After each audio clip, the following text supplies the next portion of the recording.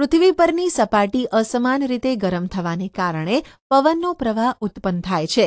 Wind currents are generated due to uneven heating on the earth આ પરિસ્થિતિઓ નીચે મુજબ છે. એ ધ્રુવ પ્રદેશો તથા વિષુવવૃત્તીય પ્રદેશોનું અસમાન રીતે ગરમ થવું.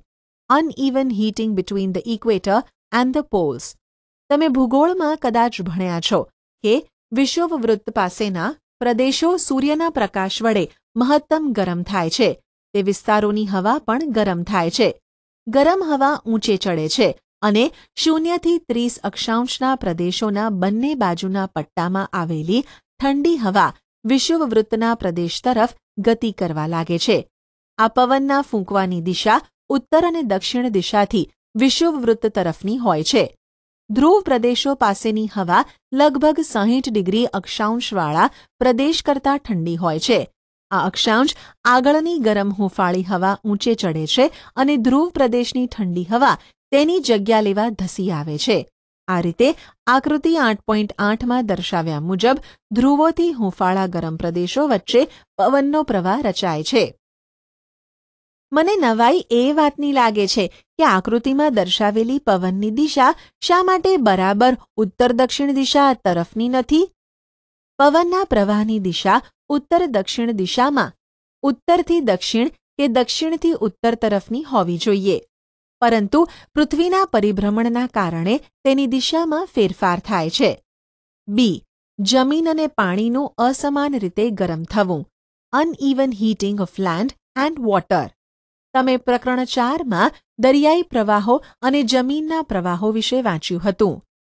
ઉનાળામાં વિષુવવૃત્તની નજીક જમીન ઝડપથી ગરમ થાય છે અને મોટાભાગના સમયે જળાશય તથા સમુદ્રની સાપેક્ષે જમીનનું તાપમાન વધુ હોય છે. જમીન પરથી હવા ગરમ થઈને ઊંચે ચડે છે, જેને કારણે પવનનો પ્રવાહ સમુદ્ર તરફથી જમીન તરફનો હોય છે, જેને મોસમી પવનો મોન્સૂન વિન્સ કહે છે. મોન્સૂન શબ્દ અરબી શબ્દ મોસમ પરથી આવેલો છે, જેનો અર્થ ઋતુ થાય છે. શિયાળામાં પવનના પ્રવાહની દિશા ઉલટાય છે. તે જમીનથી સમુદ્ર તરફની હોય છે. હું જાણવા માંગુ છું કે આ પવન આપણા માટે શું કરી શકે છે? સમુદ્ર પરથી આવતો પવન પાણીની વરાળ અને વરસાદ લાવે છે, જે જળચક્રનો એક ભાગ છે. ગરમ મોસમી હવા પોતાની સાથે પાણીની વરાળ લઈને આવે છે, જેને કારણે વરસાદ આવે છે. વાદળો વરસાદ લાવીને આપણને આનંદનો અનુભવ કરાવે છે. આપણા દેશના ખેડૂતો પાક માટે મોટે ભાગે વરસાદ પર આધાર રાખે છે. વાદળો અને વરસાદ માટે ઘણા લોકગીતો પ્રચલિત છે. જો તમે આવું કોઈ ગીત જાણતા હો, તો તમારા મિત્રો સાથે તેને ગાઓ. અહીં આવું એક ગીત આપેલું છે. જો કે વરસાદ દરેક વખતે સુખદાયક હોય છે તેવું નથી. તે ઘણીવાર મુશ્કેલીઓ પણ ઊભી કરે છે. તમે આવી કેટલીક મુશ્કેલીઓની યાદી બનાવી શકો ખરા? તમે તે માટે તમારા શિક્ષક અને માતા પિતા સાથે વરસાદને લગતી મુશ્કેલીઓ તથા તેના ઉપાયોની ચર્ચા કરી શકો છો. કેટલીક પ્રાકૃતિક ઘટનાઓ એવી પરિસ્થિતિને જન્મ આપે છે, જેથી હોનારત સર્જાય છે, જેનાથી મનુષ્ય, પ્રાણીઓ તથા વનસ્પતિને માટે સંકટ ઊભું થાય છે. તો ચાલો આપણે તેમાંથી બે પરિસ્થિતિ, ગાજવીજ સાથેનું વાવાઝોડું અને ચક્રવાત વિશે અભ્યાસ કરીએ. ગાજવીજ સાથેનું વાવાઝોડું અને ચક્રવાત. થંડરસ્ટોમ્સ એન્ડ સાયક્લોન્સ.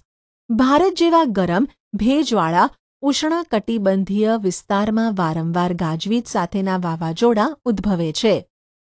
જમીનના તાપમાનના વધારા સાથે ઉપર જતો પવન પ્રબળ, અતિ ઝડપી બની જાય છે. જે પોતાની સાથે પાણીના ટીપાં ઉપર લઈ જાય છે, જ્યાં તે ઠરી જાય છે અને ફરીથી જમીન પર પડે છે.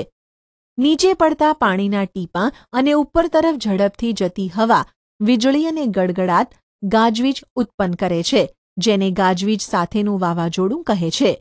તમે આગળના ધોરણોમાં વીજળી વિશે વધુ શીખશો. જ્યારે વીજળી સાથે તોફાન આવે, ત્યારે નીચેની સાવચેતીઓ રાખવી આવશ્યક છે. એકલા અટુલા વૃક્ષની નીચે આશ્રય ન લેવો. જો તમે જંગલમાં હોવ, તો નાના વૃક્ષ નીચે આશ્રય લો. જમીન પર સૂઈ જતા નહીં. ધાતુનો હાથો ધરાવતી છત્રીનો ઉપયોગ તમારા રક્ષણ માટે ન કરો. બારીની નજીક બેસવું નહીં.